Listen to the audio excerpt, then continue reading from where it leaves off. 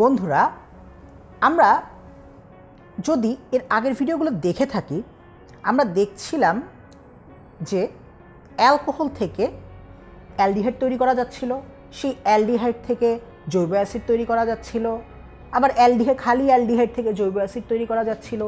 কিন্তু জৈব অ্যাসিড থেকে কিন্তু অ্যালকোহল তৈরি করা যাচ্ছিল কি যাচ্ছিল না, এই ব্যাপারটা কিন্তু আমরা দেখিনি। যদি কেউ নাও দেখে থাকি, তাহলে জেনে নেই যে অ্যালকোহল থেকে অ্যালডিহাইড তৈরি করা সম্ভব, জৈব অ্যাসিড থেকে, অ্যালডিহাইড থেকে আবার জৈব অ্যাসিড তৈরি করা সম্ভব এবং সেই ব্যাপারগুলো কিন্তু আমরা আবারও এখানে দেখব। তাই চিন্তা করার কোনো কারণ নেই।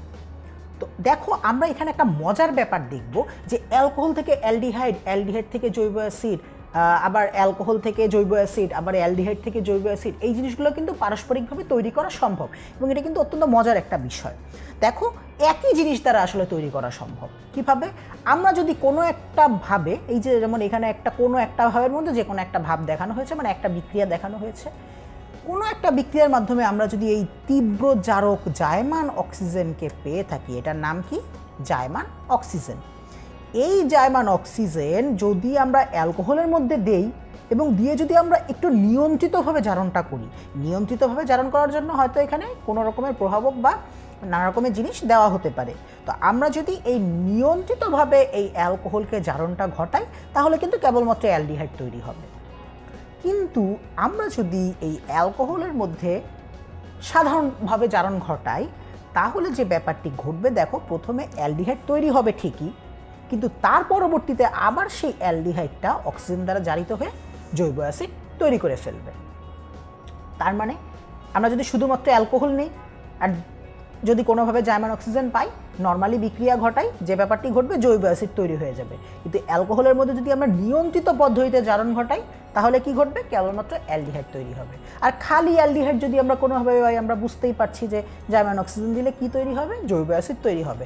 তার মানে এটা থেকে এটা আবার এটা থেকে এটা, আবার এটা থেকে ডাইরেক্ট এটা কিন্তু তৈরি করা সম্ভব। আমরা কিন্তু এই বিক্রিয়াগুলো দিয়ে সেই জিনিসটাই দেখানোর চেষ্টা করছি। তাহলে আমরা কি বলতে পারি?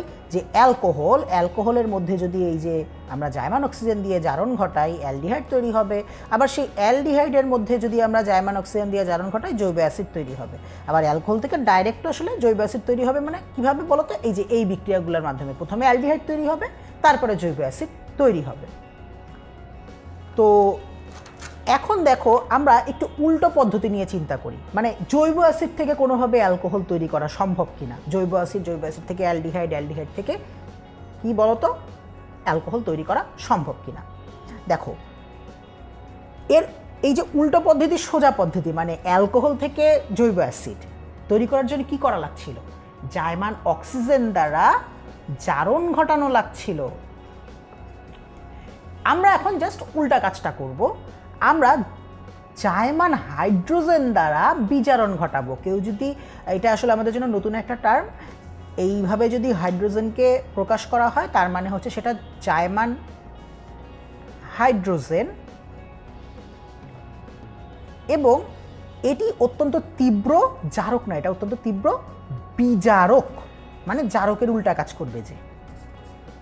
তাহলে যেহেতু জারণ পদ্ধতিতে অ্যালকোহল থেকে অ্যালডিহাইড অ্যালডিহাইড থেকে অ্যাসিড তৈরি হচ্ছিল, নিশ্চয়ই বিজারণ পদ্ধতিতে উল্টা জিনিসটা হতে পারে। আর এই জায়মান হাইড্রোজেন দেখো কীভাবে পাওয়া যায়? এই যে লিথিয়াম অ্যালুমিনিয়াম হাইড্রাইড নামের একটি জিনিস রয়েছে। এটার নামকে আমি এখানে দেখিয়ে দিয়েছি। লিথিয়াম অ্যালুমিনিয়াম হাইড্রাইড, এটা মনে রাখবে। এই লিথিয়াম অ্যালুমিনিয়াম হাইড্রাইড থেকে আমরা যদি একটু তাপ দেই, তাহলে আসলে প্রয়োজনীয় পরিমাণে জার্মান হাইড্রোজেন তৈরি করা সম্ভব এবং সেই লিথিয়াম অ্যালুমিনিয়াম হাইড্রেটের মধ্যে যদি আমরা জৈব অ্যাসিড দিয়ে দিই, কী হবে? সেটি সাধারণভাবে প্রথমে অ্যালডিহাইড তৈরি করবে, বিজারিত হয়ে তারপরে অ্যালকোহল তৈরি করবে। আবার যদি লিথিয়াম অ্যালুমিনিয়াম হাইড্রেটের মধ্যে আমরা অ্যালডিহাইড দিয়ে দিই, কী হবে? খালি অ্যালকোহল তৈরি করবে। তাহলে লিথিয়াম অ্যালুমিনিয়াম হাইড্রেটের মধ্যে যদি আমরা অ্যালকোহল দিই, তাহলে কিন্তু কিছু হবে না, কারণ সেই অ্যালকোহল তো আর ওইদিকে বিজারিত হতে পারবে না। লিথিয়াম অ্যালুমিনিয়াম হাইড্রেটের মধ্যে আমরা যদি জৈব অ্যাসিড দিই অ্যালডিহাইড হবে, তারপরে অ্যালকোহল হবে। খালি অ্যালডিহাইড দিই অ্যালকোহল হবে। এবং এগুলো আমরা বুঝতে পারছি যে তাহলে হচ্ছে যে জারণ পদ্ধতি হয়েছিল জায়মান অক্সিজেন দ্বারা, তার কিন্তু উল্টা জিনিসটা এখানে সংঘটিত হচ্ছে। আর একই একই রকমভাবে এই যে জায়মান অক্সিজেন যেমন কোনো মুক্ত পরিবেশে পাওয়া সম্ভব না, জার্মান হাইড্রোজেনে কিন্তু কোনো মুক্ত পরিবেশে পাওয়া সম্ভব না। এটি দুইটা বিক্রিয়ার মধ্যবর্তী কোনো একটা উৎপাদক হিসাবে, আবার বিক্রিয়ক হিসাবে ব্যবহার হতে পারে। যেমন এখানে লিথিয়াম অ্যালুমিনিয়াম হাইড্রাইড, প্রথমে জার্মান হাইড্রোজেন তৈরি করবে তখনই যখন সেই লিথিয়াম অ্যালুমিনিয়াম হাইড্রাইডের মধ্যে জৈব অ্যাসিড বা অ্যালডিহাইড দেওয়া হবে।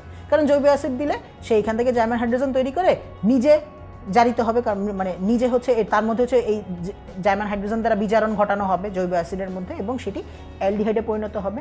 বা যদি অ্যালডিহাইড আমরা দিয়ে দিই লিথিয়াম অ্যালুমিনিয়াম হাইড্রাইডে, তাহলে কি হবে? বিজারণ পদ্ধতির মাধ্যমে জার্মান হাইড্রোজেন দ্বারা অ্যালকোহল তৈরি হবে।